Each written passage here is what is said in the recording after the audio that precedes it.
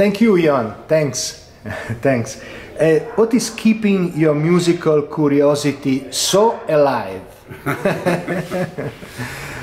uh, well, I don't know where this drive comes from, but uh, I have a, a, kind of a mentality that uh, pops up uh, ideas all the time, and uh, I have to do something with them. And uh, this leads me into different projects and different meetings with uh, other people, and this again gives more ideas, and then you know it's like a constant flow, you know. which one of the many others project, Magnetic North, Jøkleba, uh, Batagraf uh, are you following now these days or possibly new ones?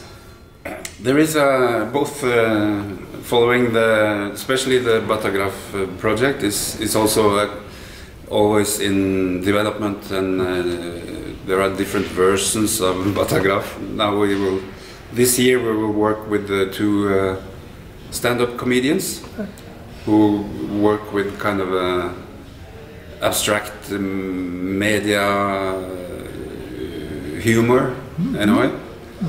But uh, they do it in a kind of a rhythmic way that works really well with the, with the Batagraf. Uh, so it's a, it's a good project, but it's in Norwegian, so it will only happen in Norway, I'm afraid. but maybe one day with Italian stand-up comedians. But then I'm, uh, I'm doing a lot of solo work, which uh, is both playing solo acoustic piano and using some electronics very uh, softly and very subtle.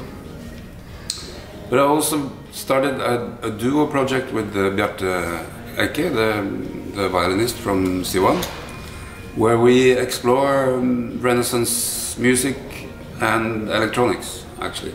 So we it's based on solo violin and I play some cembalo and piano, but uh, we work with uh, putting uh, kind of a surround uh, sound system and then sending the sounds and remixing these uh, pieces from the early music. As you told us, also alone at last. How did you decide to build your recent piano solo project, including also field recordings and sound environments?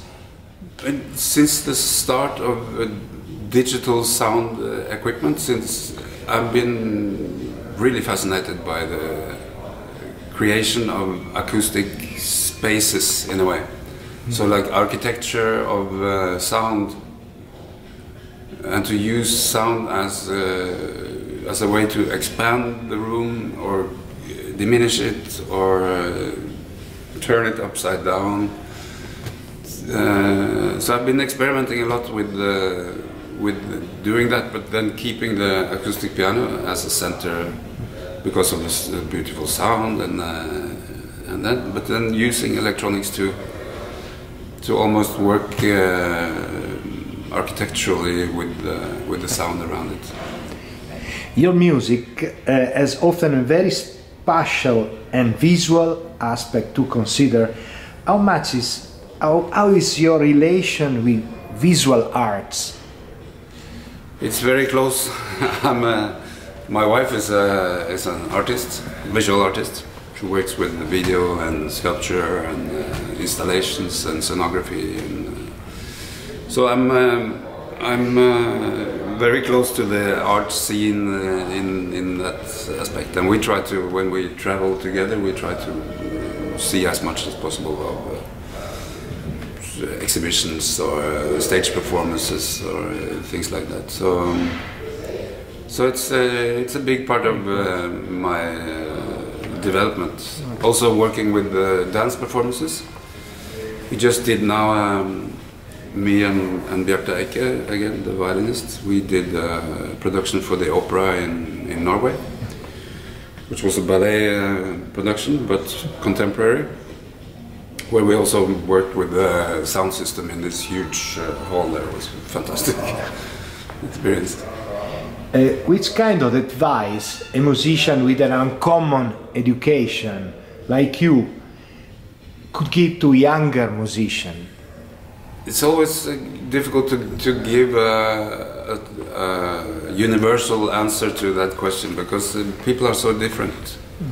And some people might not need a formal education at all. Some people are really uh, successful with uh, with taking out what they need from uh, from that. So, I mean, music is not a, a trade that you can learn and then stay doing what you have learned.